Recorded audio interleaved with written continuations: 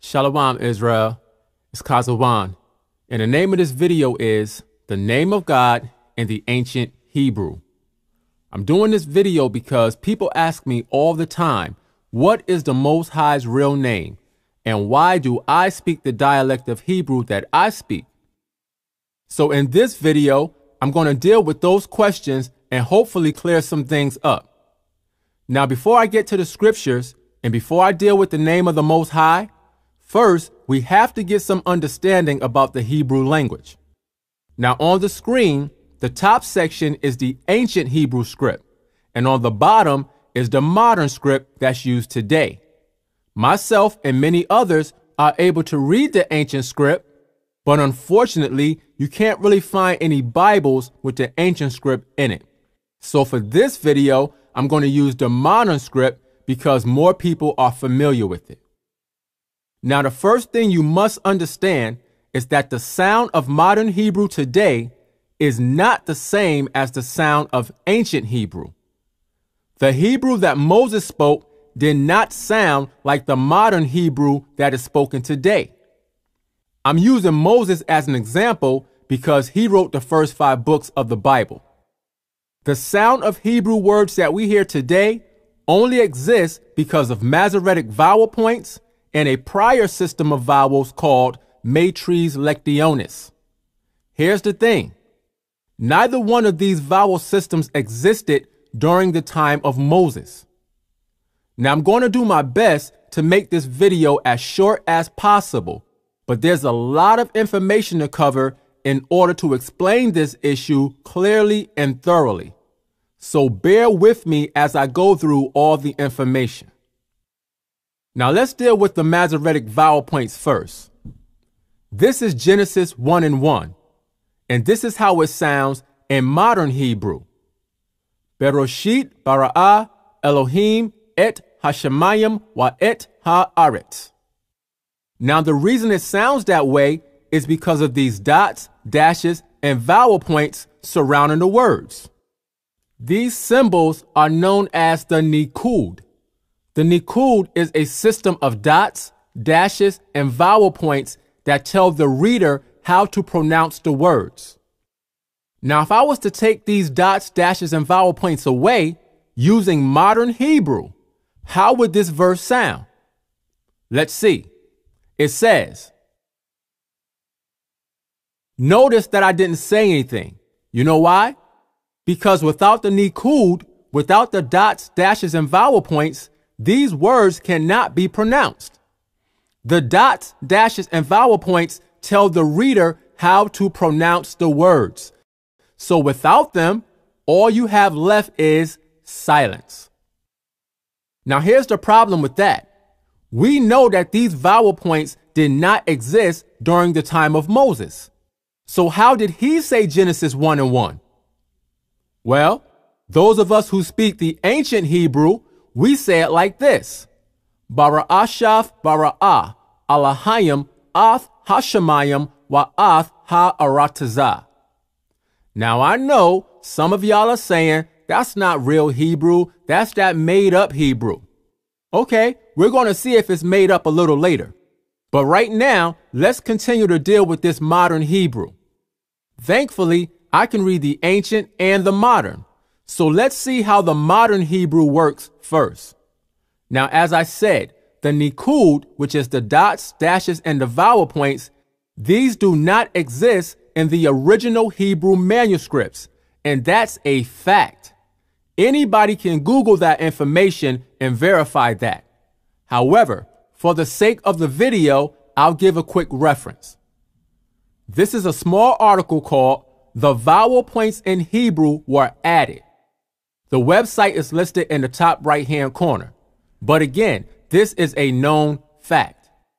Now, right here it says Masoretic vowel points, Hebrew, or as the system is now called, Masora from Mesore, tradition, and Masar to hand down. It says, the rabbis who busied themselves with the Masora were called Masoretes. The Masorah is a list of rules that the Jewish Masoretes made on how to pronounce Hebrew words. It says, They, the Masoretes, were also the inventors of the Masoretic points, which are supposed to give the vowelless words of the scriptures their true pronunciation. So you see that the original text was vowelless, meaning there was no written vowels. But the Jewish Masoretes put these points in the text that are supposed to tell you how to pronounce the words. Right here it says, this was the invention of the rabbis of the school of Tiberias. Watch this. In the ninth century CE AD. In other words, this was the invention of men. These vowel points are not found anywhere in the original manuscripts. And these vowel points were not fully established until around the 9th century AD. Now let me put that in perspective. The Messiah lived during the first century AD. It wasn't until 800 years later, after the time of the Messiah, that the vowel points were established. Watch. Let's go down to the end. It says, the ancient Hebrew and the Hebrew spoken by the Messiah did not have vowel points. They were added to the Hebrew text. See this guy right here? This is exactly what the Masoretes did. They took the vowelless Hebrew text and added different sounds to the words. Let me give you an example. On the screen, you see two Hebrew letters or consonants. This first letter in modern Hebrew is called a hey, and it's equivalent to an H, like hat or hot. This second letter is called a wa, and it's equivalent to an English W, like wax or water.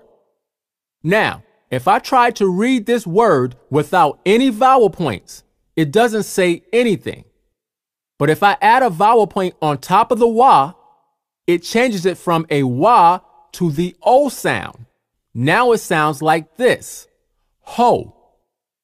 If I move this point down to here, it changes the wa to the u sound. Now it sounds like this. Who.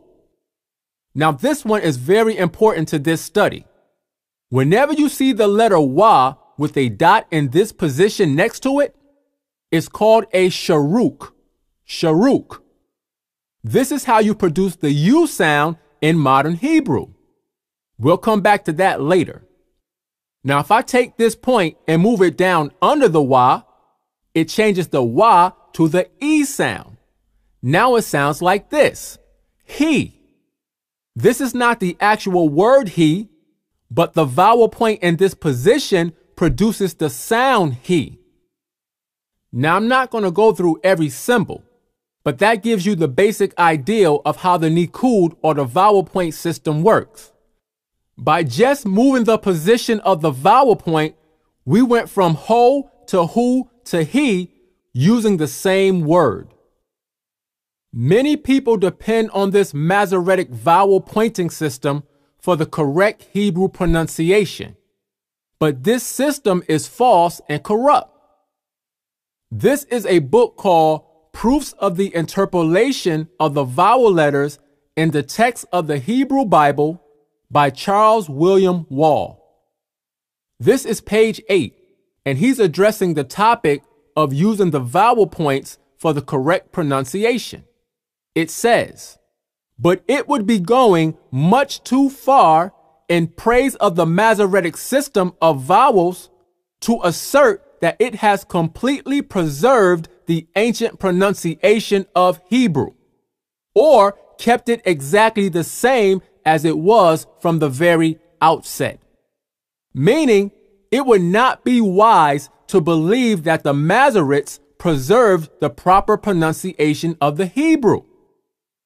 It says, on the contrary, external evidence which is accessible to us on the subject serves to show that in the course of a vast number of successive ages, some changes have taken place in this respect. In other words, there's plenty of evidence that shows that the Masoretes changed the sound of the original Hebrew by using their vowel points. So we see that the vowel pointing system is not dependable for the correct pronunciation of ancient Hebrew words. So we can leave that system alone. Now, some brothers who are more learned on this subject, they know that there was a vowel system in use before the dots and dashes of the Masoretes. That vowel system is called the matres lectionis. So let's deal with that. The matres lectionis is a vowel system where certain Hebrew letters are used as vowels. This system was in place before the vowel points were invented, but it wasn't in place during the time of Moses. He didn't use that system. If it was possible to travel back to the time of Moses and you showed him the matres lectionis, look at his face. That's just a joke. But the point that I'm making is Moses never heard of the matres lectionis. It didn't exist. When Moses wrote the scriptures, there were no vowel letters. Now, let me show you an example of how the matres lectionis works. This is 1 Samuel 18, verse 9. It says, And Saul eyed David from that day and forward. Now let's look at this verse in Hebrew without any vowel points because we're dealing with the matres lectionis vowel letter system. This is the word David.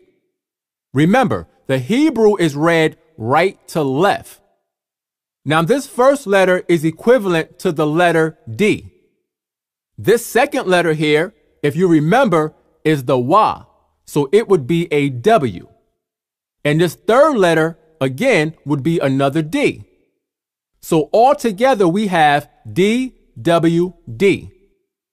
Let's get rid of the rest of this verse and just focus on the name David. Now watch this.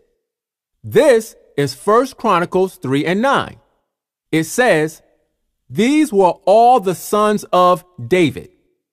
That's all we need for this point. Let's look at this verse in Hebrew without the vowel points. Now here we have the name David again, but notice it looks different. There's an extra letter added to his name. So let's isolate the name David in this verse. So now we have two forms of the name David. Let's put them side by side. Now in 1 Samuel 18 and 9, the name David is DWD. But here in 1 Chronicles 3 and 9, the name David is DW, and then we have a new letter added. In modern Hebrew, this letter is called a yod, and it's equivalent to a Y, like yes or yarn. So now we have D, W, Y, and at the end, another D. So why is David's name spelled two different ways? Because this is an example of how matres lectionis works. Using this system, the aleph, the hey, the y, and the yod can be used as vowels. The y that we see here in the name David is not used as a consonant letter. This Y is a vowel letter that produces the E sound. This vowel letter tells the reader to pronounce the Y with an E sound after it. So instead of saying Y, you would say we. The vowel sound E is combined with the previous letter Y, giving you the sound we. This is why you hear some people pronounce David's name as Dawid. That's how matres lectionis works. Certain letters are used as vowels to produce certain sounds. That's why if you look at the name David from 1 Samuel 18 and 9 with the vowel points added, you will notice that the yod or the y is missing. But the Masoretes placed a vowel point under the Y letter. Why? Because if you remember from earlier, when the Y has a point under it, it produces the E sound. So you would read this name as Dawid. So what that shows us is that the vowel pointing system of the Masoretes was based on the Matrice Lectionis vowel letter system. So the question becomes, is the Matrice Lectionis the ancient system of writing that Moses used? If it is, then the modern Hebrew pronunciation is correct. But if it's not, then a lot of the sounds that are used in Hebrew today are wrong. Watch this. Let's go back to this book. It's called Proofs of the Interpolation of the Vowel Letters in the Text of the Hebrew Bible by Charles William Wall. This is page five of the introduction section. It says, The Hebrew Bible, as it issued from the pens of its inspired authors, was written without vowel signs of any kind, whether points or letters. Meaning, the original biblical manuscripts did not contain any vowel points or any vowel letters. Watch this. Let's go to page 19 in chapter 1. It says, I may hereby anticipation add, and will be found equally to apply to the matrice lectionis after it shall have been proved that those letters do not any more than the points constitute part of the Hebrew scriptures as originally written. So once again, the matrice lectionis vowel letter system is not found in the original manuscripts. Moses did not write those extra letters in the text. Those extra letters came to be a long time after Moses. See, what you have to understand is, like every other language, the Hebrew language has gone through different changes over time. Not to mention our different captivities, which caused us to pick up different sounds in different types of words. But we're talking about the original sound of the Hebrew. The vowel letter system was introduced to Israelites by outsiders. We didn't make up that system. Other nations was using different types of words and we were exposed to that. Some of us may have picked up some of those words as early as the 8th century through Aramaic influence. That's documented. But as a nation, we were trying to maintain our original language because for us, it wasn't just a language. It was a holy language. Now, when the Greeks came into power, everything changed because they forced the vowel letter system on us in our captivity. Look at this. This is page eight from the same book. In the introduction section, it says, In the first place, then, about two centuries after the termination of the Babylonian captivity, and while a considerable number of persons still continued to speak pure Hebrew as their vernacular dialect, watch this, it says, Asia was invaded by a people who had introduced into the original alphabet the vast improvement of vowel letters. Meaning, a group of people invaded Asia and they brought the vowel letter system with them and changed the original alphabet. Let's see what happened. It says, and the Jews were in consequence forced in spite of their prejudices, to learn a species of writing that made them acquainted with the use of such letters. Meaning, the Israelites were forced against their will to take on this new writing system. It wasn't by choice. Watch this. It says, in the second place, their scriptures were very soon afterward translated into the tongue connected with this writing by the order, as tradition tells us, of a pagan government. And at any rate, in a country in which they and their religion were peculiarly hated and despised. This is talking about the Greeks. It was the Greeks who forced us to adopt the vowel letter system. Look at this. This is the bottom of page 14 in the introduction section. it says, For although some other Asiatic nations making use of syllabaries may have been induced by observation of Grecian practice voluntarily to change them into alphabets of a superior order through the introduction of the irregular species of vowel letters technically called matres lectionis. Let me make some sense out of that.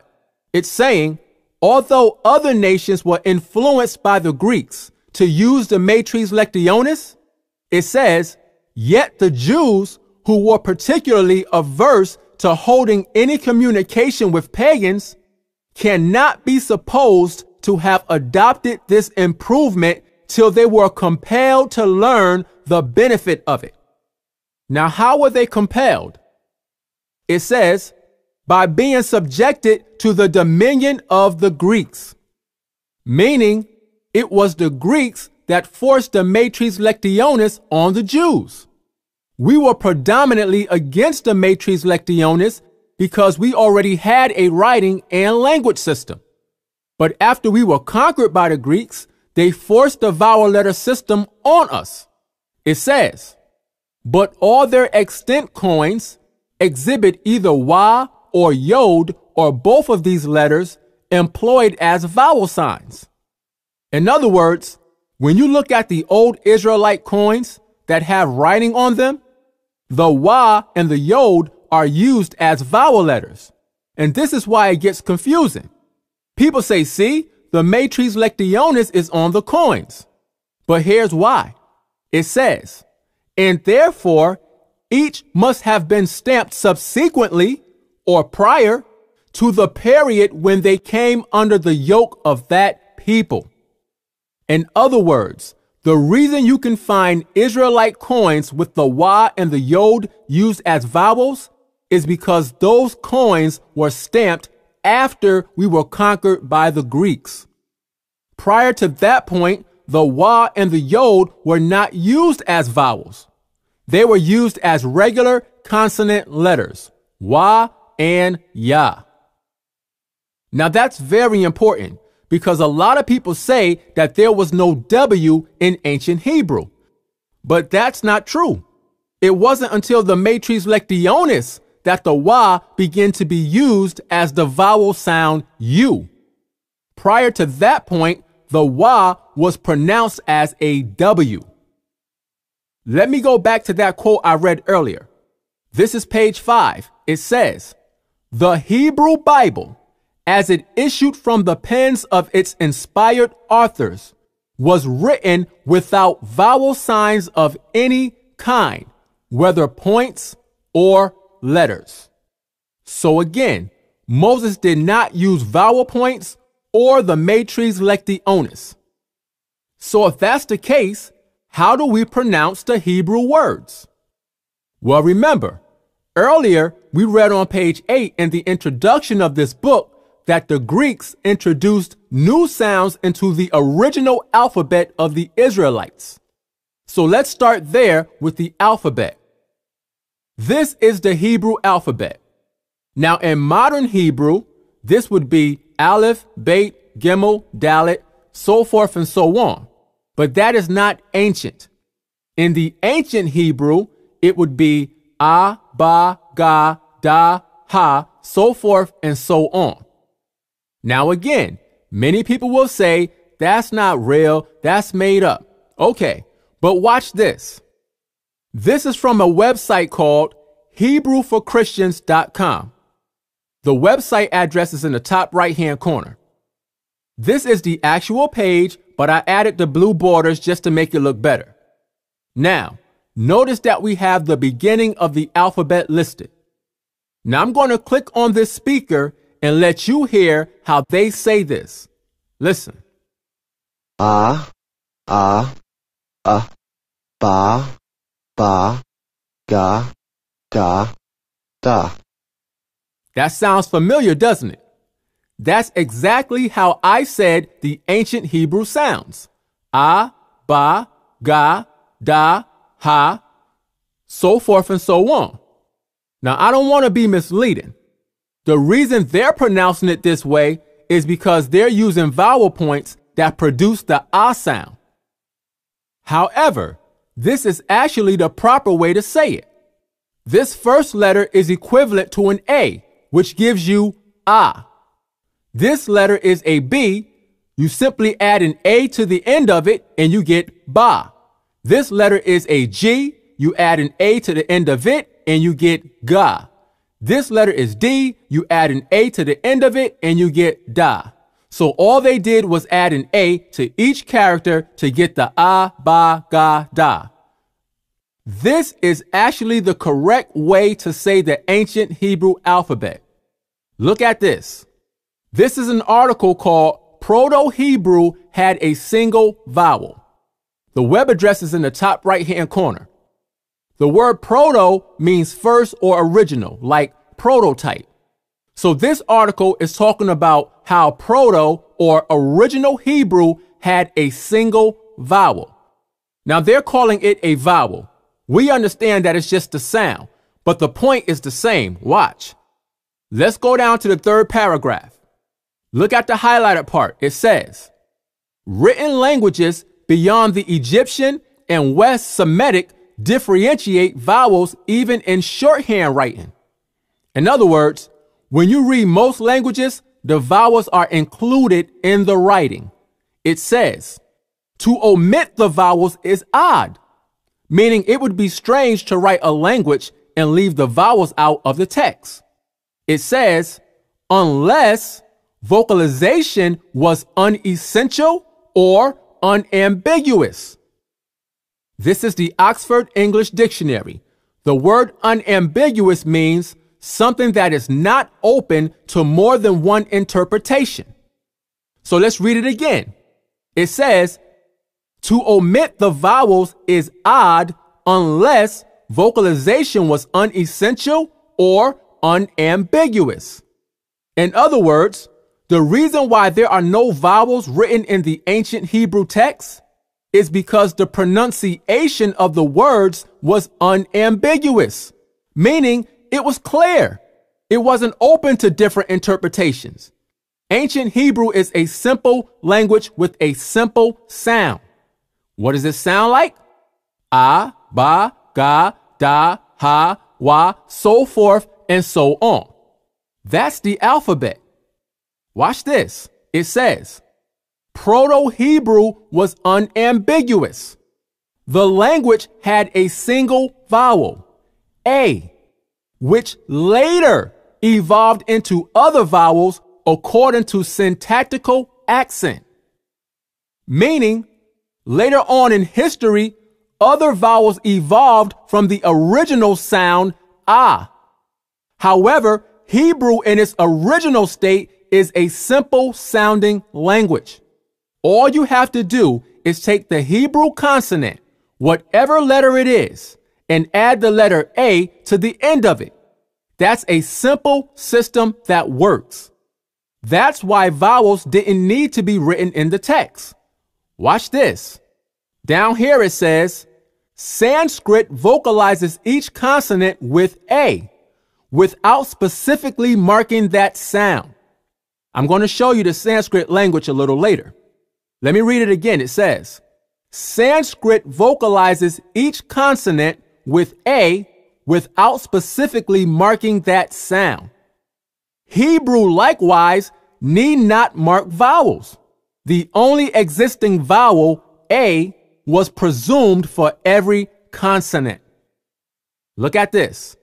It says, when writing this letter here, which modern Hebrew pronounces as kaf, it says the Hebrews actually meant ka.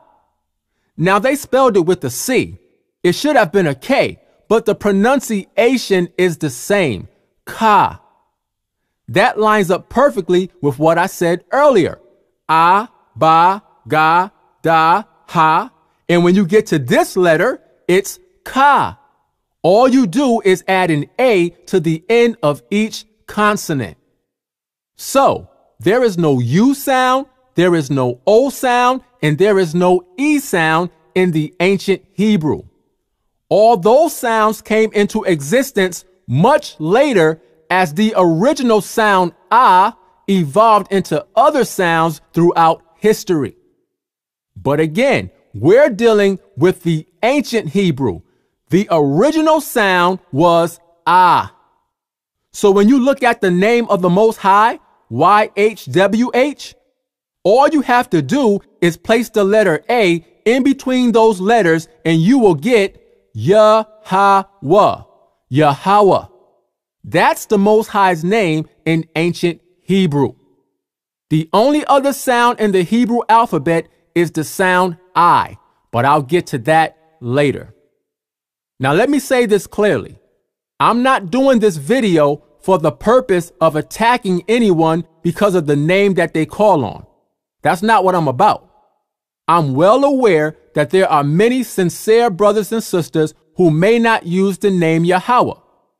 I'm presenting this information, one, for truth's sake, and also because people have been asking me for years to address this topic with a video. So this is not a personal attack on anybody. This is simply done for edification of the body. Now, let's deal with the Most High's name. Earlier, I said the Most High's name is Yahweh. However, there are many names being used today among Israelites. Two of the more popular names are Yahuwah and Ahiah. Those are the names that I get asked about the most. So let's deal with Yahuwah first. Now, the name Yahuwah is really close to Yahweh. The only real difference is that Yahuwah has the U sound in it. The problem with that is, as we saw earlier, there is no U sound in ancient Hebrew. The U sound can only be produced through the Masoretic vowel point system or the Matrice Lectionis vowel letter system. Neither one of those systems are used in the ancient manuscripts. So let's take a closer look at the name Yahuwah. So on the screen, this is the name of the Most High. It's found in the Bible about 7,000 times. Now, when I look at this name without any vowel points, just the plain letters, I see the ancient name Yahweh. Yahweh. So the question is, how are other Israelites looking at the same name and getting Yahuwah? Well, the problem is this letter right here. This is the Wa. Now remember, I started off in the beginning showing you how vowel points affect the sound of this letter. This letter by itself is Wa. If I put a vowel point on top, it becomes a O. If I put a vowel point on the bottom, it becomes E. But here's the one we want to focus on. If I put a point here in the middle, it becomes U. It takes on the U sound. Now we know that the Masoretic vowel points are not ancient, so we can get rid of this vowel point. Once we take that vowel point away, the only way this can say Yahuwah is if the letter Wa becomes a vowel letter that produces the U sound. In other words, this letter tells the letter before it to pronounce itself with a U sound. So instead of this letter saying ha, it would keep the H and take on the sound of this vowel letter. And then it would say who. Then this letter ha would have to be a vowel also. And instead of it saying ha, it would say ah. As you can see, I have to use the Matrice Lectionis vowel letter system in order to get the name Yahuwah. Vowel points or vowel letters is the only way you can get that name. Again, remember the quote I read earlier. Let me read it again. It says, I may hereby anticipation add and will be found equally to apply to the matrice lectionis after it shall have been proved that those letters do not any more than the points constitute part of the Hebrew scriptures as originally written. Also on page 5, in the introduction of the same book, it says, The Hebrew Bible, as it issued from the pens of its inspired authors, was written without vowel signs of any kind, whether points or letters. So we know that Moses did not use vowel letters. But even if we decide to use the vowel letter system to establish the name, here's the question. Why does this Y character have to be a U? Because according to the Matrice Lectionis vowel system, this letter Y, when used as a vowel, can produce the U sound and the O sound. In fact, it can produce other vowel sounds also, which I'll get to later. But for now, let's just deal with the Y producing the U sound and the O sound. Look at this. This is from a website called biblicohebrew.org, and the address is in the top right hand corner. This is the Matrice Lectionis rule chart. I want to focus on this section. This is the letter Y. You see it says Y. Now notice above it, it says biblical, meaning this letter was originally used as a W. But if you look next to it under modern, it says Vav, because now some people use this letter as a V. That's why some people say Va and some people say Wa. Va is modern, but Wa is ancient. There are no V's in ancient Hebrew. But let's get back to the point. So we're dealing with the Y as a vowel letter based on the matrix lectionis. Let's see what vowel sounds the Y produces according to this system. Here it says vowel formation. And notice that it produces the O and the U sound. Next to it, under vowel quality, again, we see the O and the U. So if we're going to go by this system, why is it that some people say the Y always produces the U and never the O?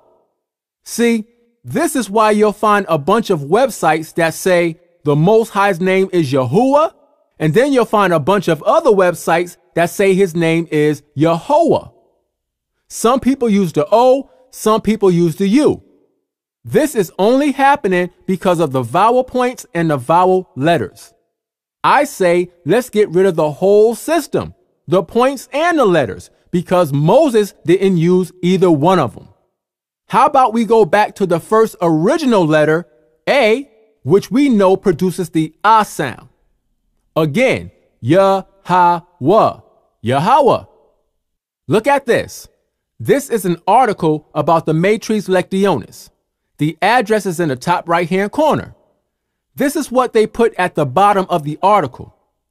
It says, Some people believe that saying such and such letter reads as such and such vowel is not quite correct in the case of matrice lectionis.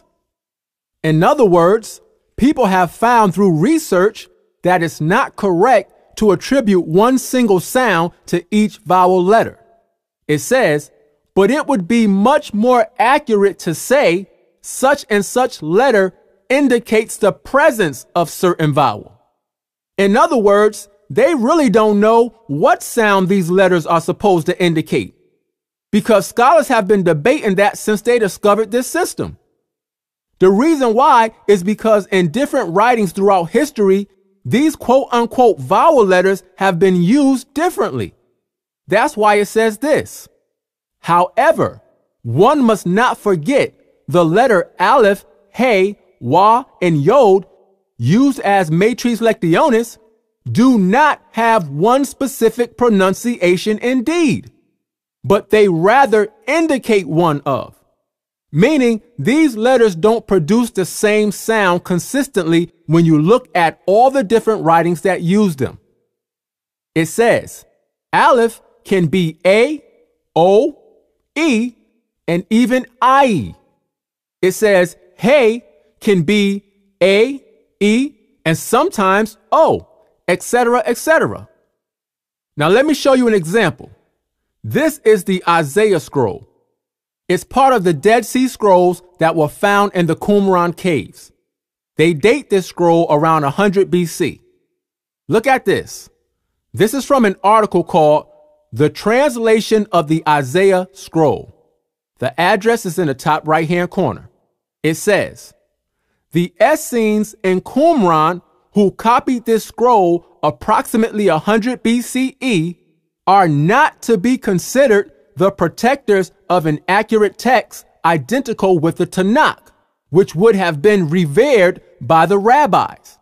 They were actually far from the mainstream, and it is clear that the Q text, the Qumran text of Isaiah, watch this, is a dialect of Hebrew.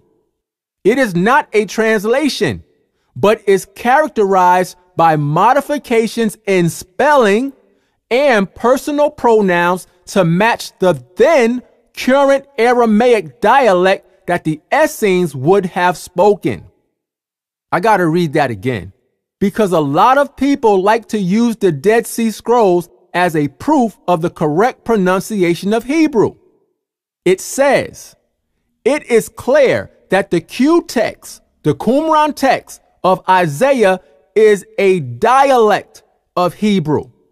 It is not a translation, but is characterized by modifications in spelling and personal pronouns to match the then current Aramaic dialect that the Essenes would have spoken. Right here it says, Thus, the preservation of an identical letter for letter received text was not at all a part of their motivation in their use of the scriptures. Let's go down to here.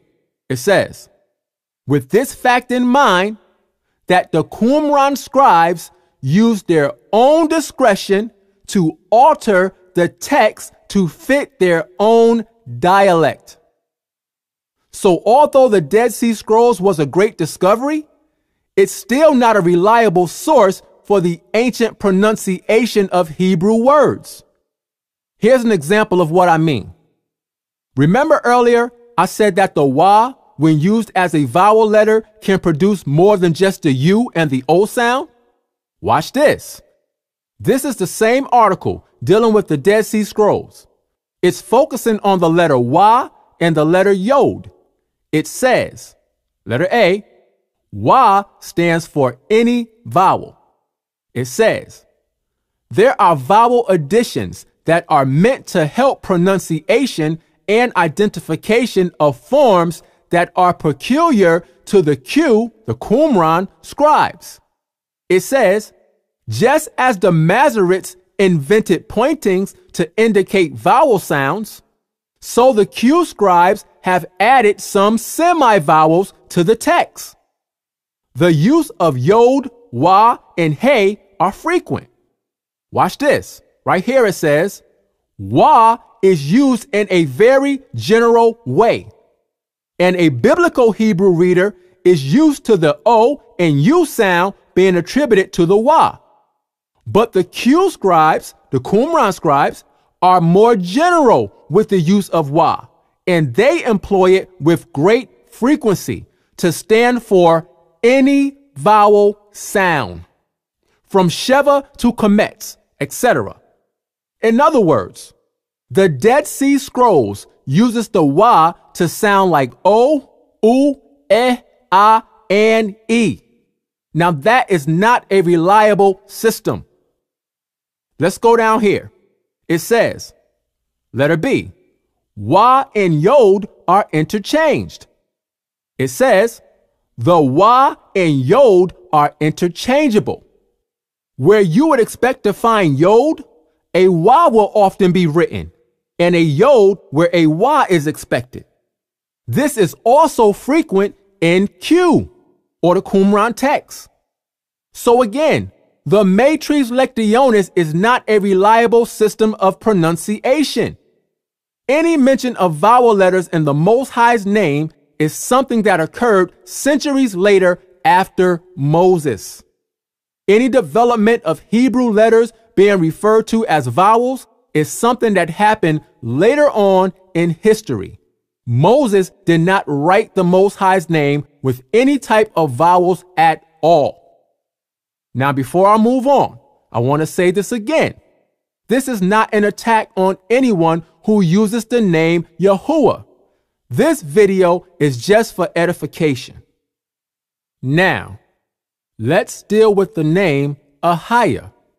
Finally, we're going to go into the scriptures.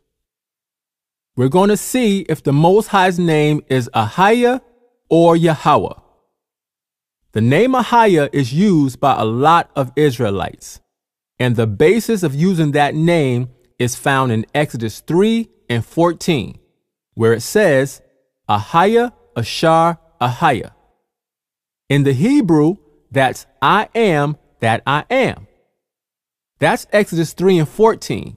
But let's start at Exodus 3 and 13 to get the context of what's happening. Here it is.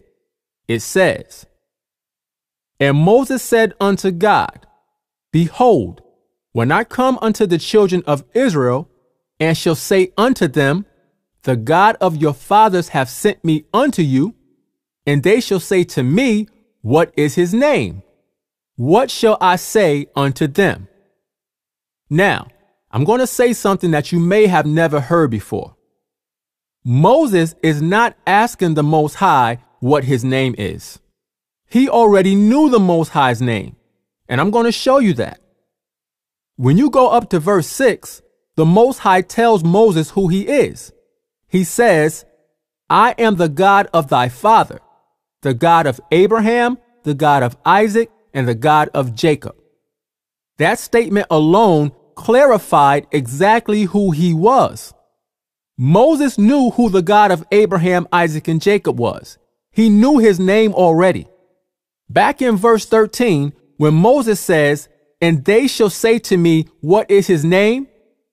This is talking about something more specific than a literal name.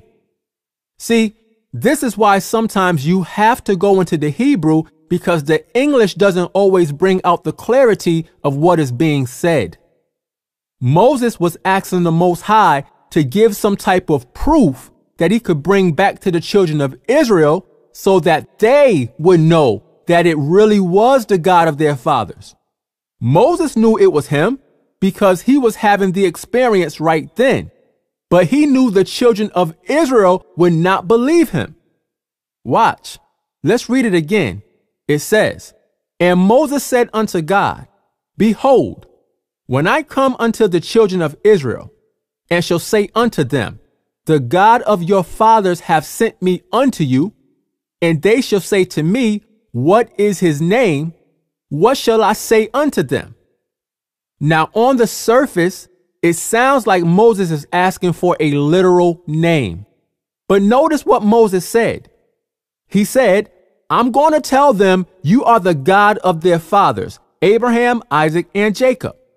That's an identifying title. The children of Israel knew who the God of Abraham, Isaac, and Jacob was.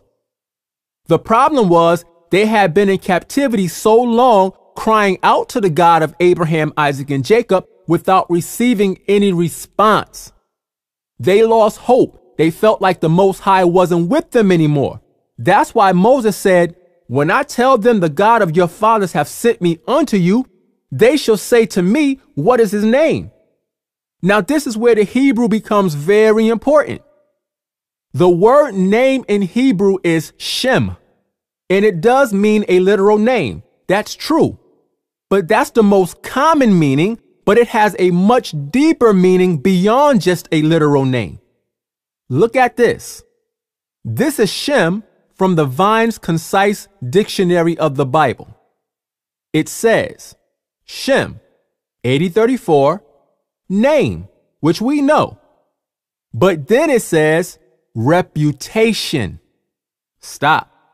Because now we see that sometimes the word name is not talking about the name itself, but instead the reputation behind the name. So, what is a reputation? A reputation is a way of doing things that people know you by. When a person is known for doing things a certain way, that style of doing things becomes the reputation of that person. For example, today we can say the Most High has a reputation of defending the children of Israel. Why? because he's known for doing that. So the word name can also mean the reputation of a person. Let's go down to this part. It says, Shem can be a synonym for reputation or fame, which is the same thing. You become famous for something you did. You make a name for yourself. Not a literal name, but a reputation. Right here it says, if a name goes forth for one, his reputation of fame is made known. So as you can see, the word Shem or name goes beyond a literal name. When you see the word name in the scriptures, you have to understand the context of the verse in order to know if it's talking about a literal name or the reputation or fame of that person. Moses is not asking for a literal name in Exodus 3 and 13. He wanted to know how to respond to the children of Israel when they started asking him to prove that the Most High sent him. That's why Moses said, They shall say unto me, What is his name? Not his literal name, but the character of who he is. In other words, they were going to say, Okay, Moses, if the Most High really sent you, describe him to us. What was he like? What did he say? That's what Moses was worried about.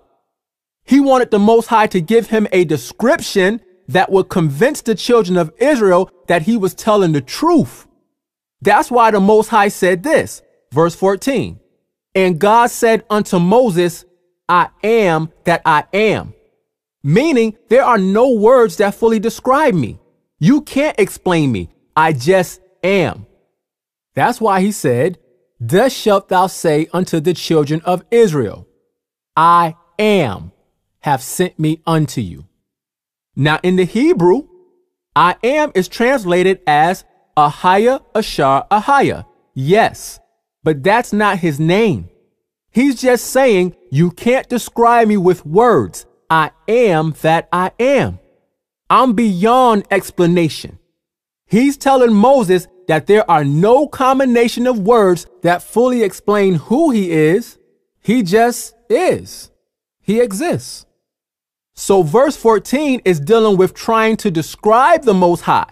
You can't stop at this verse because the conversation is not over. The next verse is where he actually gives Moses his name. Watch this. Verse 15. And God said moreover unto Moses. Now, what does moreover mean? It means he continued to talk to Moses, and then he said this Thus shalt thou say unto the children of Israel. Meaning, what I'm about to say to you now is what I want you to say to the children of Israel. It says, The Lord God of your fathers. Stop. Let's look at this in the Hebrew. Here it is. Notice where the word Lord is in the English. The Hebrew says Yahweh. It doesn't say Ahia. It says Yahweh. Yahweh, God of your fathers, the God of Abraham, the God of Isaac, and the God of Jacob have sent me unto you. Now, he clearly just said that his name was Yahweh. Let's see what he said next. It says, This is my name forever. What name is he talking about? Yahweh. He didn't say that about Ahia. He said Yahweh. This is my name forever. It says, and this is my memorial unto all generations. What does the word memorial mean? It means remembrance, meaning we are supposed to remember that name throughout all our generations. Yahweh, the God or power of our fathers Abraham, Isaac, and Jacob. Let's go to the next verse. Watch this. This is the Most High. He's still talking to Moses. Verse 16, it says, Go and gather the elders of Israel together, and say unto them. Now let's see what he tells Moses to tell the elders of Israel. It says, The Lord God of your fathers. Stop. Once again, let's look at this in the Hebrew. Notice where it says Lord in English, the Hebrew says Yahweh. That's two times back to back that the Most High said his name was Yahweh. It says Yahweh, the God of Abraham, of Isaac, and of Jacob, appeared unto me, saying, I have surely visited you and seen that which is done to you in Egypt.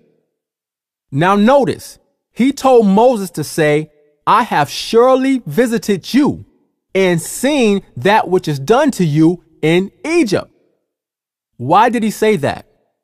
Because as I said earlier, they had been in captivity so long that they thought the Most High forgot about them. He told Moses to reassure them that he sees their condition and that he's about to deliver them. Now watch this. I'm going to prove to you that it was never about Moses or the Israelites not knowing the name. It was about the children of Israel doubting that Yahweh, the God of their fathers, was still with them. After the Most High told Moses what to say to the children of Israel, watch how Moses responds. Exodus 4 and 1. And Moses answered and said, But behold, they will not believe me, nor hearken unto my voice. Watch this. For they will say, The Lord have not appeared unto thee. What is the word Lord in the Hebrew? It's Yahweh. So Moses said, they're going to say Yahweh didn't appear unto you. Meaning what? They knew the name. They just wasn't going to believe that he sent Moses. Why? Because they had been in captivity praying for deliverance all that time and it hadn't come. They had given up. And then all of a sudden, Moses was going to pop out of the blue talking about Yahweh sent me. Moses said they're not going to believe me. That's what was happening. It wasn't about them not knowing a name. Moses was concerned that when he told them that it was Yahweh that sent him, they was going to be like, man, get out of here. Yahweh ain't sent you. Listen, the name of the Most High was known way before Moses in Exodus chapter 3. Watch this. Genesis 4 and 25. And Adam knew his wife again, and she bare a son and called his name Seth. For God, said she, have appointed me another seed instead of Abel, whom Cain slew. So we're dealing with the time of Adam and Eve. Now watch this. Verse 26, it says, And to Seth, to him also there was born a son, and he called his name Enos. Look at this. It says, Then begin men to call upon the name of the Lord. What does that word Lord say in the Hebrew? It says Yahweh. Every time you see the word Lord in all capital letters, that word in Hebrew is Yahweh. So men have been calling on the name of Yahweh since the time of Adam and Eve. That's not a new name that popped up in the book of Exodus. The children of Israel knew that name, and so did Abraham, Isaac, and Jacob. Yes, Abraham, Isaac, and Jacob knew the name of Yahweh. Now, me saying that brings up a problem that we have to address before we move on. Exodus 6 and 3. I still have to deal with the name Ahiah, but I want to make this point first because this is important. Exodus 6 and 3. Let's read it.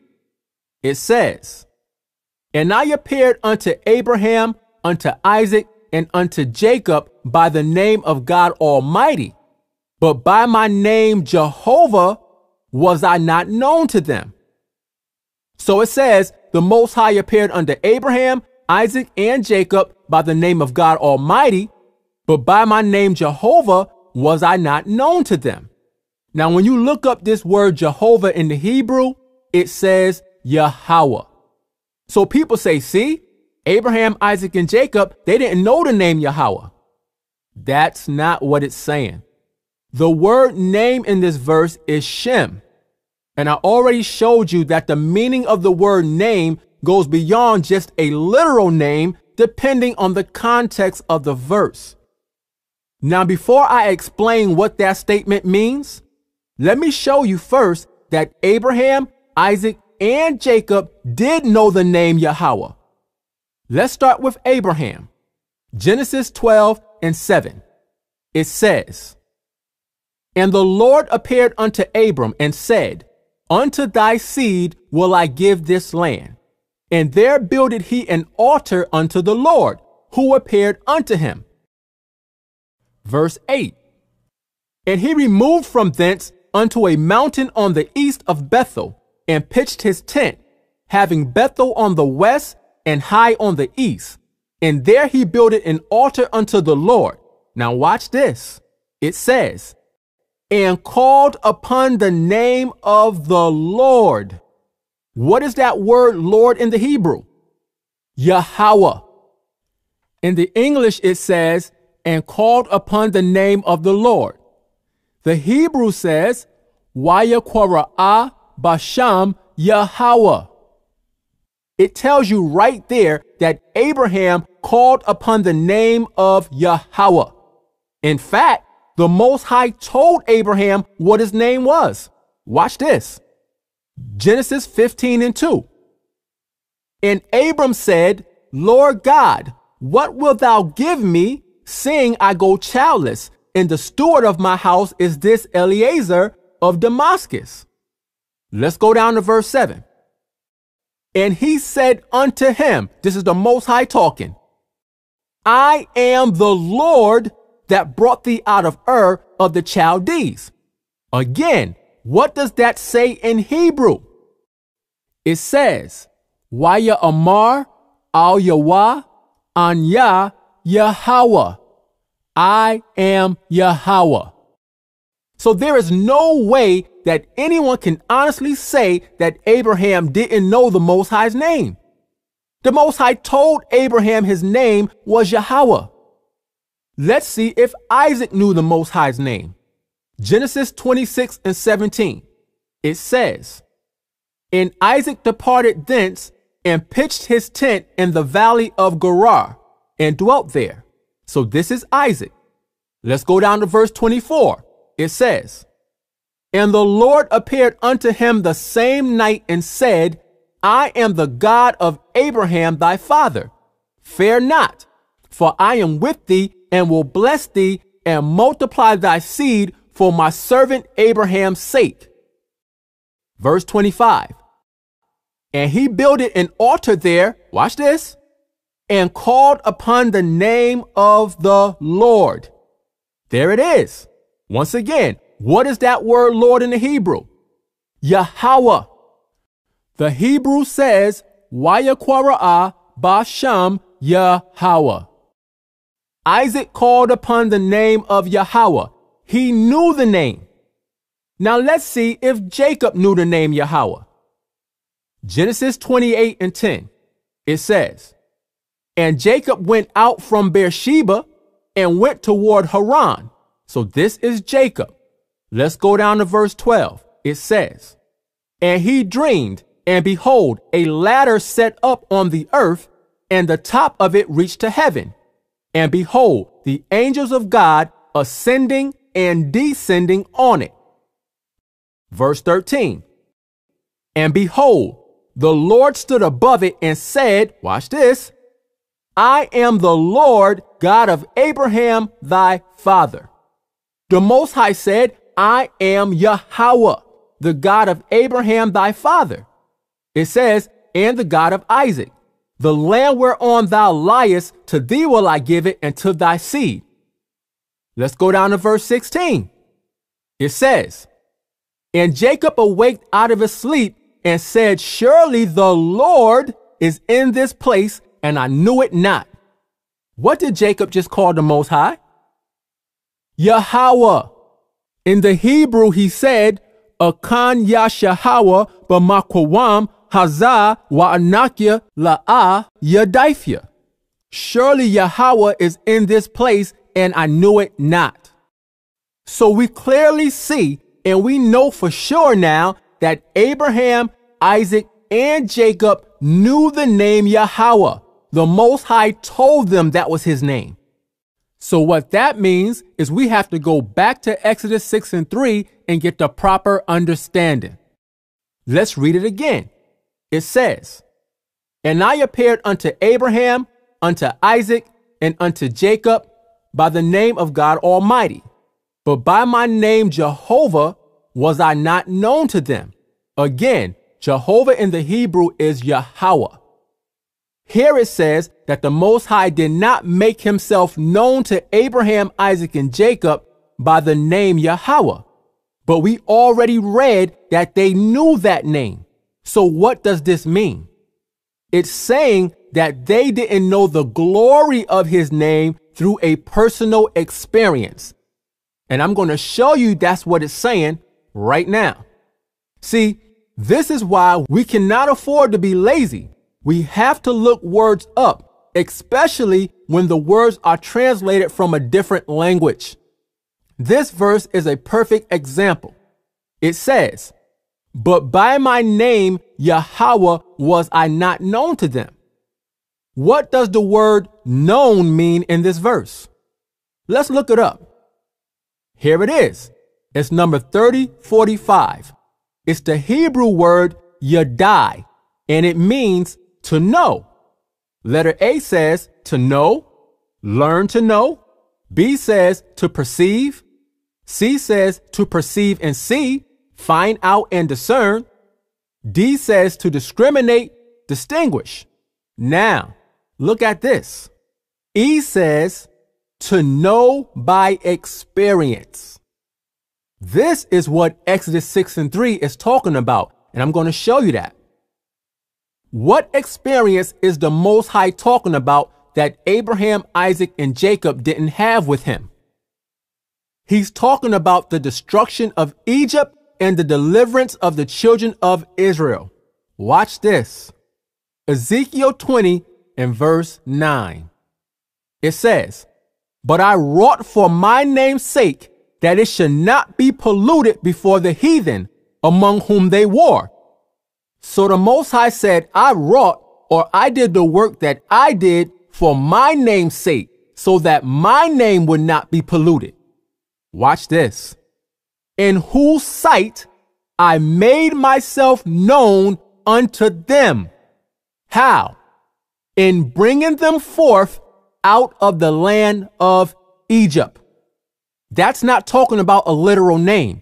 That's talking about an experience the Most High made his name known to the children of Israel through the experience of delivering them out of Egypt. That's what Exodus 6 and 3 is talking about. Abraham, Isaac, and Jacob, they knew the literal name Yahweh. We read that. But they didn't get to experience the glory of his name like the children of Israel did. They didn't see the Most High destroy Egypt. They didn't see the 10 plagues that he brought. They didn't see the Red Sea split in two. They didn't see the nation of Israel walk into the land of Canaan, destroy their enemies, and inherit the promised land. That's what Exodus 6 and 3 is talking about. Not his literal name. They knew his literal name, but they didn't know the glory of his name that would come from that experience. Again, the word name in that verse is Shem, 8034. Look at this. Letter A says name. But notice what letter B says. It says reputation, fame, glory. So Abraham, Isaac, and Jacob didn't know or experience the fame and glory of the name Yahweh like the children of Israel did. I hope y'all could see that. When the Most High destroyed Egypt, his reputation, fame, and glory spread all over the world. Look at this. Joshua 9 and 8. And they said unto Joshua, We are thy servants. And Joshua said unto them, Who are ye, and from whence come ye? Verse 9. And they said unto him, From a very far country thy servants are come. Why? Because of the name of the Lord thy God. Is this talking only about his literal name? No. It says, For we have heard the fame of him in all that he did in Egypt. See that? After the Most High destroyed Egypt, his fame and glory went throughout the whole earth. That's what Exodus 6 and 3 is talking about. Abraham, Isaac, and Jacob didn't get to experience that. They knew his literal name, but not the fame and the glory that would later be attached to his name. They didn't have that experience. So now that we understand that, let's go further into explaining the name. Now, as I said earlier, the name Yahweh is in the Bible about 7,000 times. And no, it wasn't inserted into the text to trick you. That's a lie. And it's not some type of evil name that makes you call on Satan. That's a ridiculous lie. Yahweh is the Most High's name. And if somebody tells you that the word Yahweh is evil, then ask that person how to say Judah in the ancient Hebrew that we speak. Because Judah in the ancient Hebrew is Yahweh da. Let me show you. Genesis 29 and 35. And she conceived again and bare a son. And she said, Now will I praise the Lord. Therefore she called his name Judah and left bearing. Let's look at this verse in the Hebrew. Here it is. I'm going to read it in parts.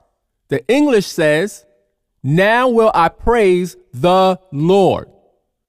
The Hebrew says, Hapa'im awada ath Yahweh. The second part says, Therefore she called his name Judah.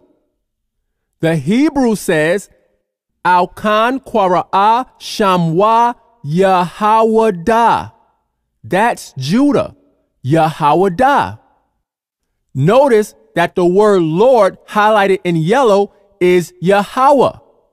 And the word Judah highlighted in yellow is Yahweh Da. That's Judah, Yahweh Da. Now the name Yahweh Da is a combination of two Hebrew words.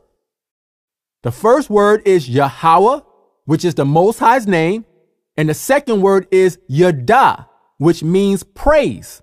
When you take the word Yahweh and add the da from the end of the word Yada, you end up with Yahweh da. Praise Yahweh. That's why Leah said, Now will I praise the Lord. Therefore, she called his name Judah. So Judah is Yahweh Da. And Yahweh Da means praise Yahweh. So let's think about this. If the Most High's name is Ahia, wouldn't praise the Lord be Ahiada? Yeah, but that's not what it is. It's Yahweh Da. Also, the tribe of Judah is not Mata Ahiada. It's Mata Yahawada. Now, if the word Yahweh is an evil word or the name of Satan, why is it part of the name Judah? Hebrews 7 and 14 says, For it is evident that our Lord sprang out of Judah. So you're telling me that the Most High brought the Savior of Israel into the world through a tribe named after Satan. Really? Stop it.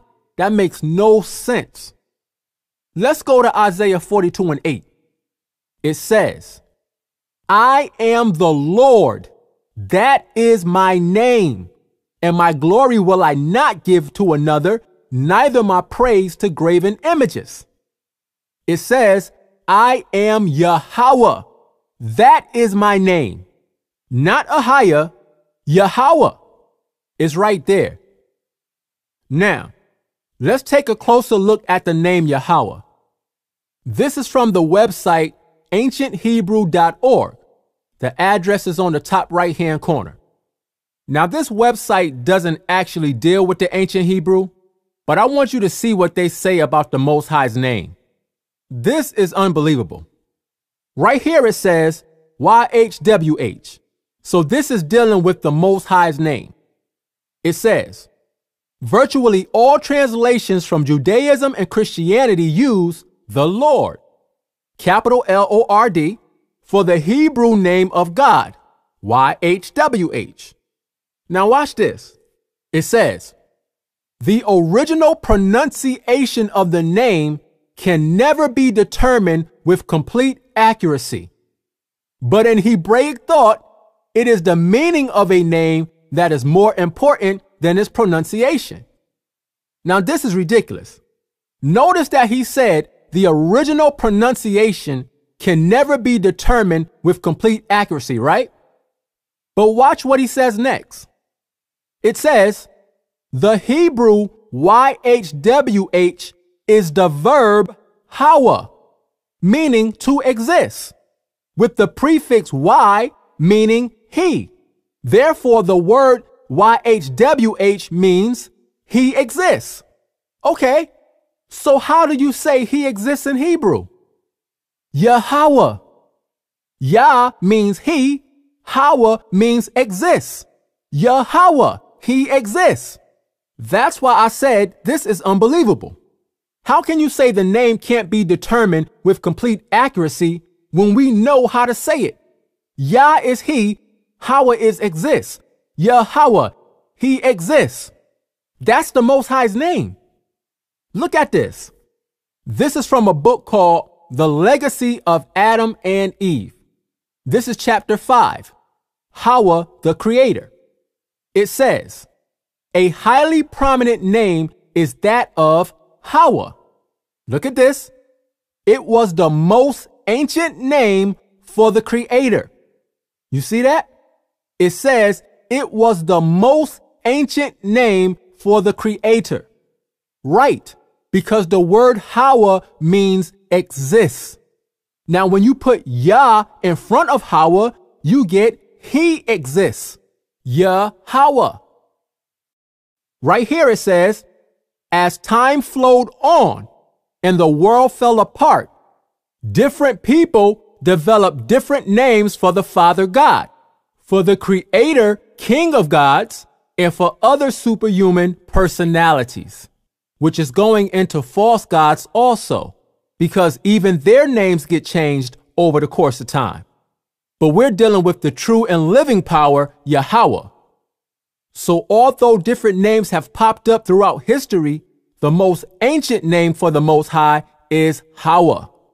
The prefix Yah goes in front because when we speak of him, we say he exists. Yahweh. That is his name. Now, let me make a disclaimer of my own. I do not endorse every single thing written in this book or any book except for the Bible. The Bible is the foundation.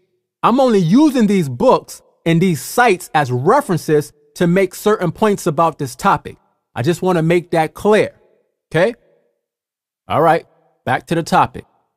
Now, a lot of times when I tell people that the original Hebrew alphabet is A, Ba, Ga, Da, Ha, so forth and so on, they laugh and they say, brother, that's not real.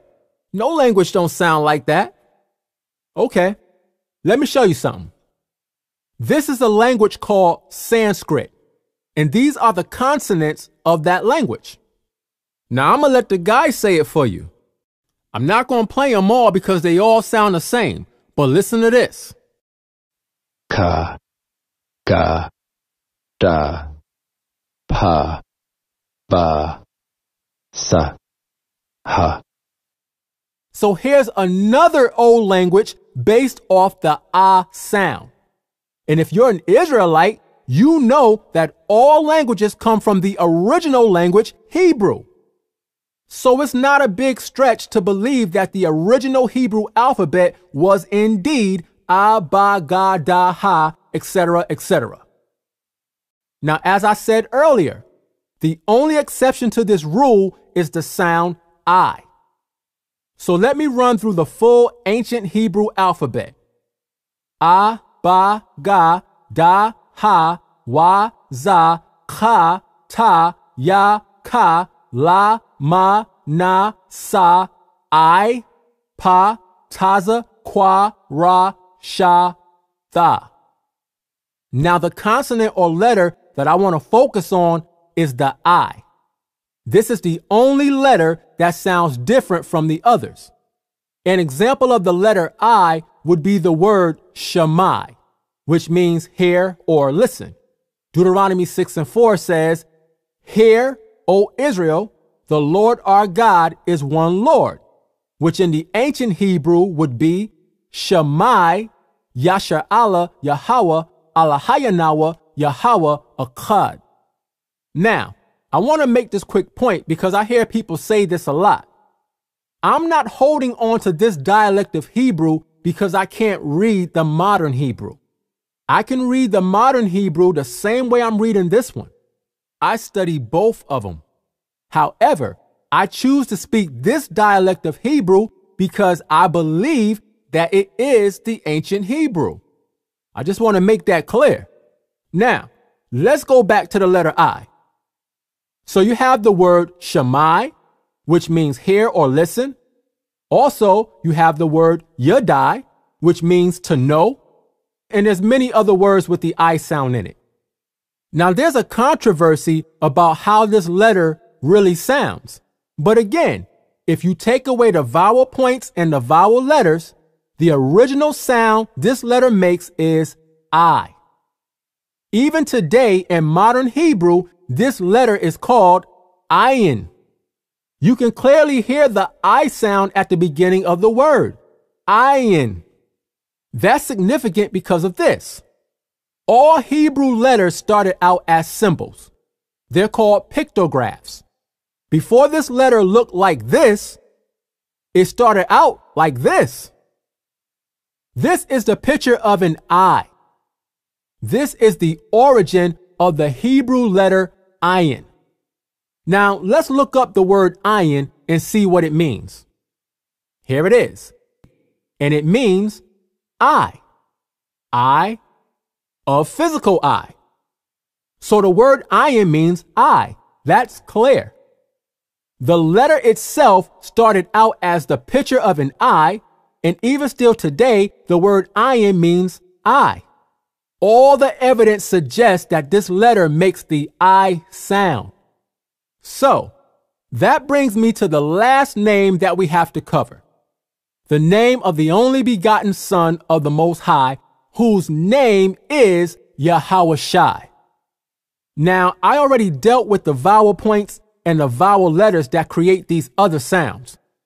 So any other name for the Son that has those sounds in it like Yehoshua or Yahushua, I'm not going to deal with because I already showed you that there are no O sounds or U sounds or E sounds in the ancient Hebrew. So the only two names in question are Yahweh as I believe, or Yeshaya, as some others believe. So let's see what the son's name is. Now, there's a lot of people who say that the Messiah's name is Yeshaya. But let's look at the evidence and see if that's true. Now remember, the people who say that his name is Yeshaya, they use the same Hebrew dialect that I use. So this should be easy to clear up. Watch this. Let's look up the word Isaiah and see what it says. Here it is. This is Isaiah in the Hebrew. Let me take these vowel points away now, what does this say? Ya Shai Yeshaya. This is Isaiah's name. Watch this. Even if I put the vowel points back, I'll let the guy on the website say his name. Listen. Yeshaya. Yeshaya. Did you hear what he said? He said Yeshaya. That's Isaiah's name. So here's the question Did the Messiah have the same name as Isaiah? No, he didn't. So his name could not have been Yeshaya. It doesn't matter if you spell it with an I or an A. The pronunciation is still Yeshaya. That was Isaiah's name. Now we know that the Messiah did not have the same name as Isaiah. But guess what? He did have the same name as Joshua. Let's prove it. This is Acts 7 and 44. It says, Our fathers had the tabernacle of witness in the wilderness, as he had appointed, speaking unto Moses that he should make it according to the fashion that he had seen. So this is talking about Moses and the children of Israel in the wilderness with the tabernacle. Verse 45, it says, which also our fathers that came after brought in with Jesus into the possession of the Gentiles, whom God drave out before the face of our fathers unto the days of David. So here it says, our fathers that came after Moses brought the tabernacle into Canaan with Jesus. Now we know this is not talking about the Messiah because he wasn't physically there. So why does it say Jesus? Because it's talking about Joshua. Joshua and Jesus is the same name. Jesus is just a Greek transliteration of the Hebrew name Joshua. Joshua was the leader after Moses passed on. He carried the tabernacle into the land of Canaan. The translators put Jesus in this verse because Jesus is the Greek transliteration of Joshua. Look at this. This is the Easton's Bible Dictionary. The address is in the top right hand corner. This is Joshua. It says, Joshua, Jehovah, which we know is Yahweh. So it says, Yahweh is his help, or Yahweh the Savior. In other words, Yahweh is salvation. That's what Joshua means. It says, the son of Nun of the tribe of Ephraim, the successor of Moses as the leader of Israel, meaning he took over after Moses passed on. Watch this. It says he is called Jehoshua in Numbers 13 and 16. Watch this. And Jesus in Acts 7 and 45 and Hebrews 4 and 8. So we see that Joshua is called Jesus in Acts 7 and 45. Why? Because it's the same name. Jesus is the Greek transliteration of the Hebrew name Joshua. Now we know that the Messiah was not Greek. He was a Hebrew Israelite. So if he had the same name as Joshua, let's see how to say Joshua in ancient Hebrew. Numbers 13 and 16, it says, These are the names of the men which Moses sent to spy out the land, and Moses called Oshea, the son of Nun, Jehoshua. Who is Oshea? That was Joshua's original name. Watch. Let's look it up. Here it is. It's number 1954, and in the Hebrew it says, Ha wa shai. Hawashai. Now, what does Hawashai mean? Down here it says Hosea or Hoshea or Oshea, which is Hawashai in the Hebrew. It means salvation. Letter A says family name of Joshua, the son of Nun.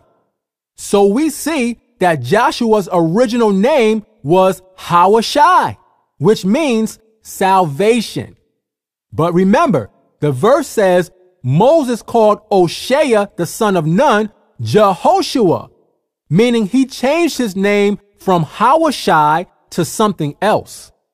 Notice, I have Oshea and Jehoshua highlighted. We know Oshea is Hawashai.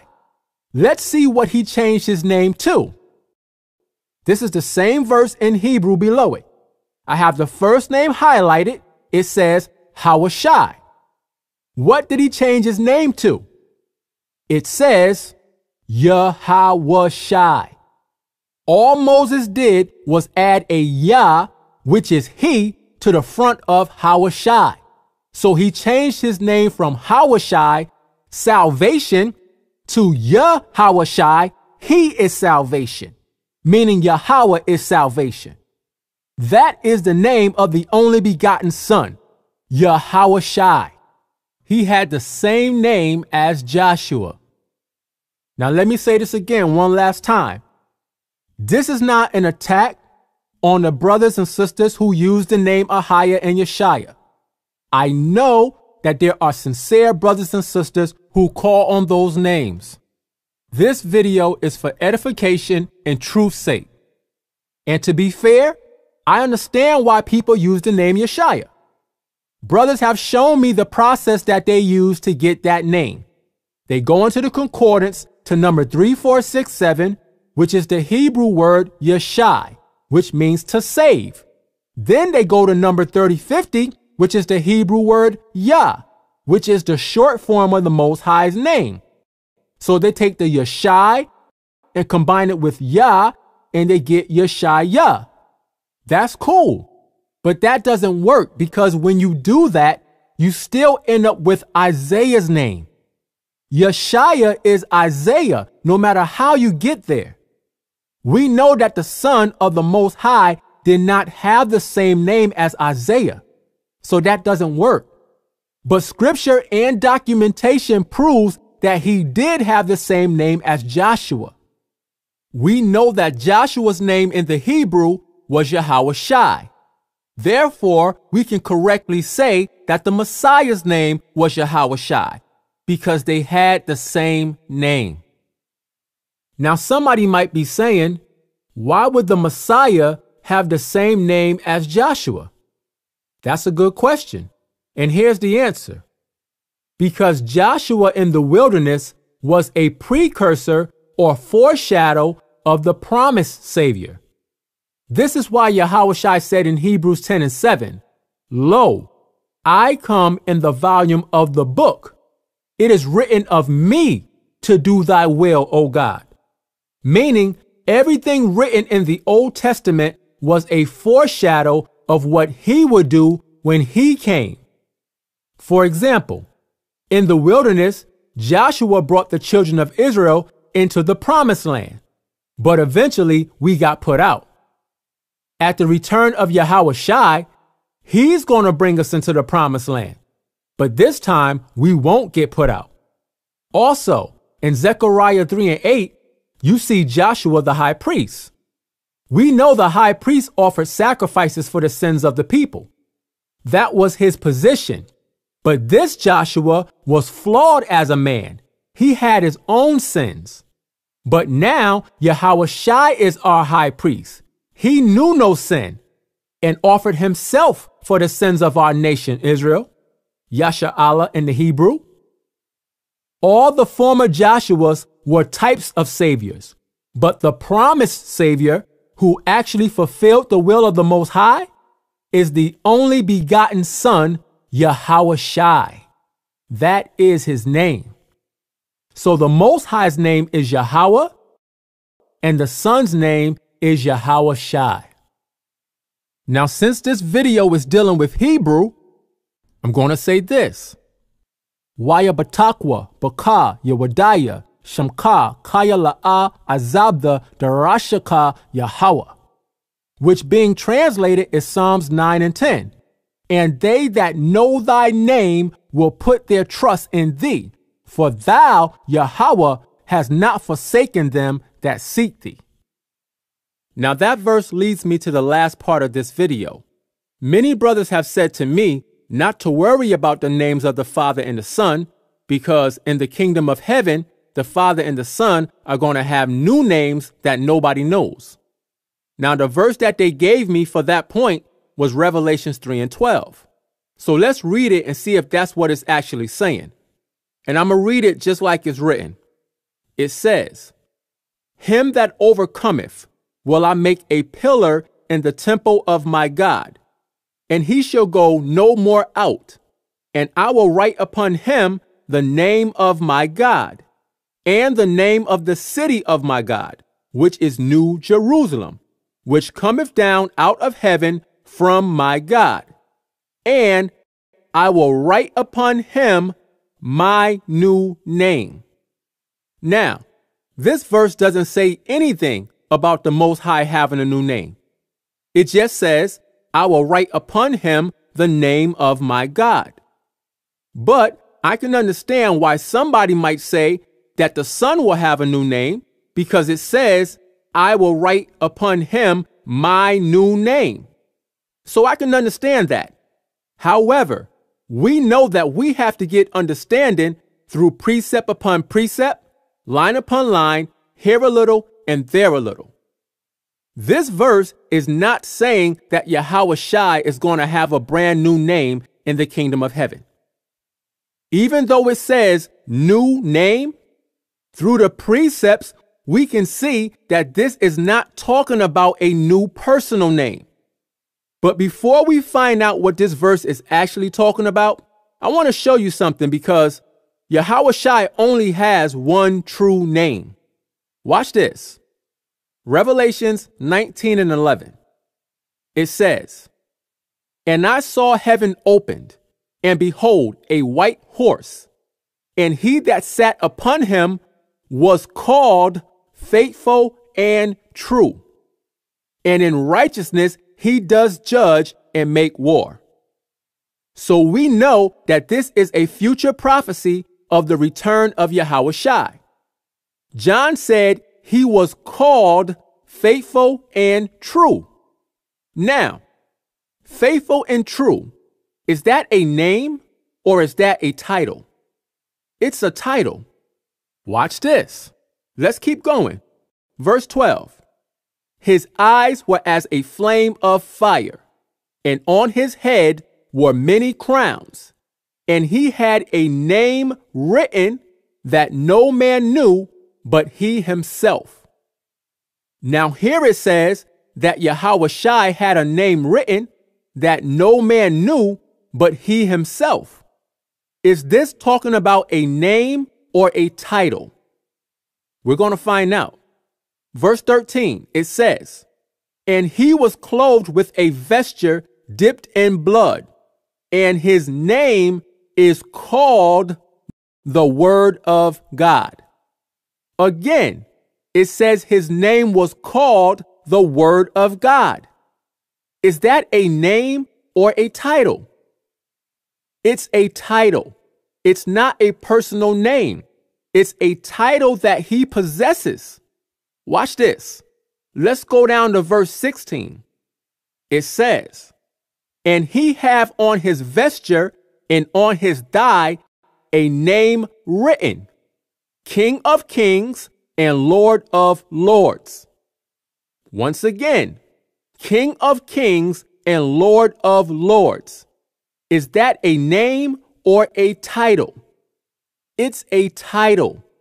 So we see the context of these verses show us that these names are actually titles, not personal names. So the name in verse 12 that no man knows is not a personal name, it's a title that the Most High gave Yahweh that nobody knows yet. He only has one true name. See, what I wanted you to see is that the term name does not always mean a personal name. Now, let's go back to Revelations 3 and 12 and get the understanding of what that verse is actually saying. Here it is. It says, Him that overcometh will I make a pillar in the temple of my God, and he shall go no more out. Now, notice it says, him that overcometh, meaning this is going to happen at the end once we overcome the wickedness of this world. What is he going to do? It says, And I will write upon him the name of my God and the name of the city of my God, which is New Jerusalem, which cometh down out of heaven from my God. Now, keep in mind, this is after we overcome the wicked world. What is Yahawashai going to do? It says, And I will write upon him my new name. What is this talking about? What is this new name that he's going to write upon us? Remember, one of his titles from Revelations 19 and 13 is the Word of God. Revelations 3 and 12 says that when we overcome this world, he's going to write upon us his new name. What is this new name and how is he going to write it upon us? The new name is the Word of God. And he's going to write it upon us by writing it in our hearts. Now, you might be saying, that's the same name. Yes, but why is it considered a new name? Because in this context, it's talking about the actual word of the Most High. And he's going to write it upon our hearts under the new covenant. In other words, it's the same name, the Word of God, which is the law, statutes, and commandments, but it's going to be written newly in our hearts under the new covenant. Here it is Hebrews 8 and 8. It says, For finding fault with them, he saith, Behold, the days come, saith the Lord, when I will make a new covenant with the house of Israel and with the house of Judah. Verse 9 Not according to the covenant that I made with their fathers in the day when I took them by the hand to lead them out of the land of Egypt, because they continue not in my covenant, and I regarded them not, saith the Lord. See, the Most High gave us the Word of God, the law, the statutes, and the commandments. He gave us that under the old covenant. But we broke that covenant. So what is he going to do? Verse 10. It says, For this is the covenant that I will make with the house of Israel after those days, saith the Lord. Watch this. This is what Revelations 3 and 12 is talking about when it says, I will write upon him my new name. It says, I will put my laws into their mind and write them in their hearts. See that? He's going to write his laws in our hearts. That's the new name. The word of God, which is the law written in our hearts under the new covenant. That's what makes it a new name because it's a new covenant. It says, and I will be to them a God and they shall be to me a people. So we see that Revelations 3 and 12 is not talking about a new personal name. So when you hear people say Yahawashai has many names, that's not true. He has many titles Prince of Peace, Faithful and True, even the Word of God. But he only has one personal name. Matthew 1 and 21. And she shall bring forth a son, and thou shalt call his name Jesus, which in the ancient Hebrew is Yahawashai. That's his name.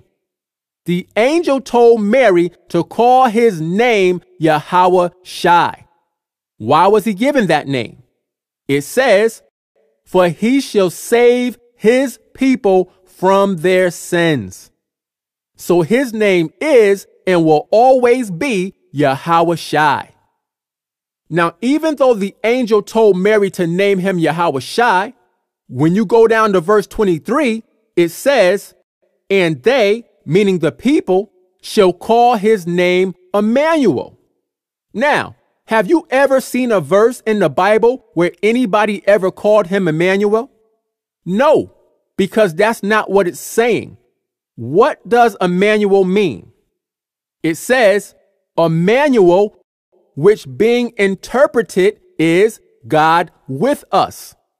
In other words, people would see Yahawashai and the great things that he did, and they would say Emmanuel, meaning God is with us. But he was not called by that name. He has a name, and everybody knew it. They called him Yahawashai, which means Yahweh's salvation. Now, before I go, I'm going to say one more thing in the ancient Hebrew for the brothers and sisters out there who do appreciate the language. A lot of you who know the ancient Hebrew are familiar with this passage. This is the blessing that the priest would pray over the children of Israel. Number 6, 24 through 26. But let's start at verse 22 to get the context.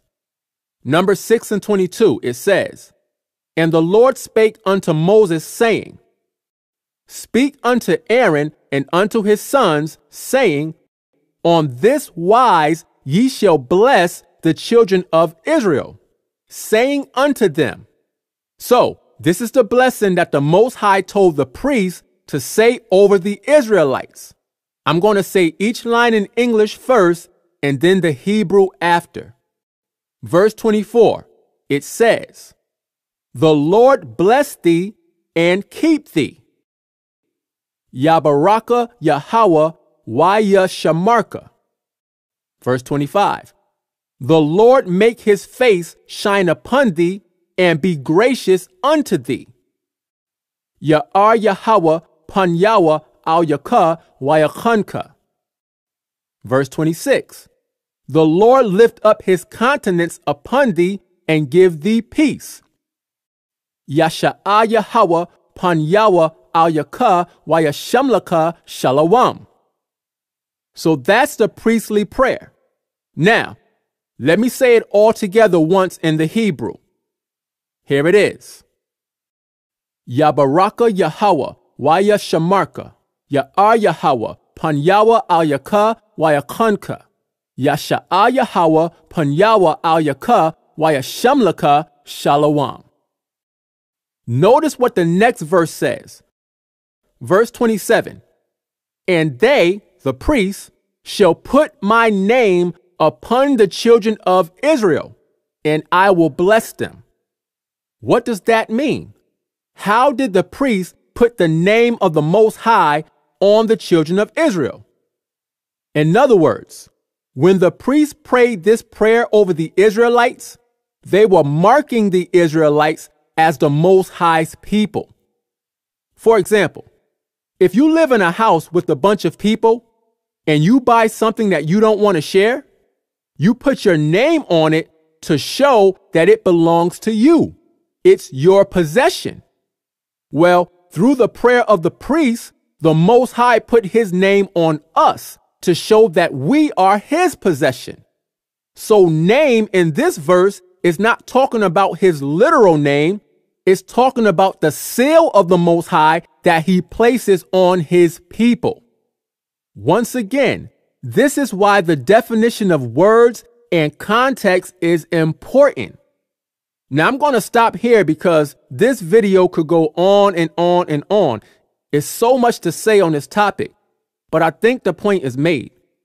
But let me say this last thing. If after watching this, you feel like it's pointless because we're going to learn a new Hebrew language in the kingdom, then watch my video called Zephaniah 3 and 9, Hebrew Now or Later. That video shows you that Zephaniah 3 and 9 is not talking about the Hebrew language. So, in conclusion, the Most High's name is Yahweh and the Son's name is Yahawashai. I hope somebody got some understanding from this video. And with that, I say, Shalom.